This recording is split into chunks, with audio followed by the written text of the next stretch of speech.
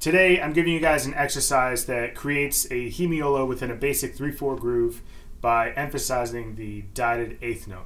First, I'm going to play it, then we'll talk about it.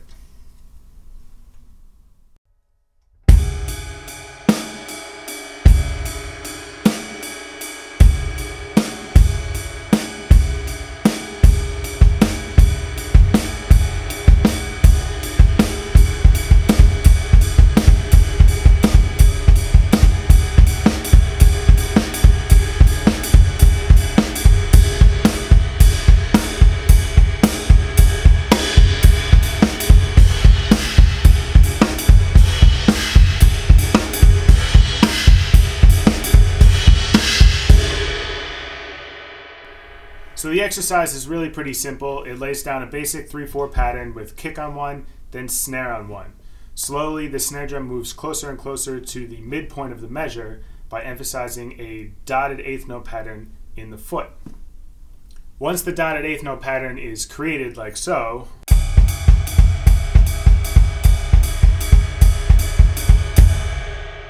then what finally kicks off the new feel is by putting the snare drum within the dotted eighth pattern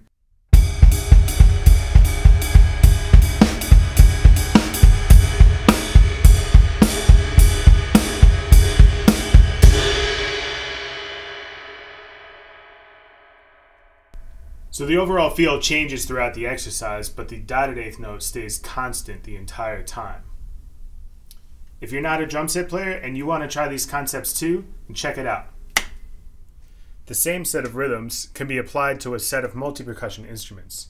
By putting the ride pattern in one hand and the snare and bass in the other, you can also work on inside-outside mallet independence.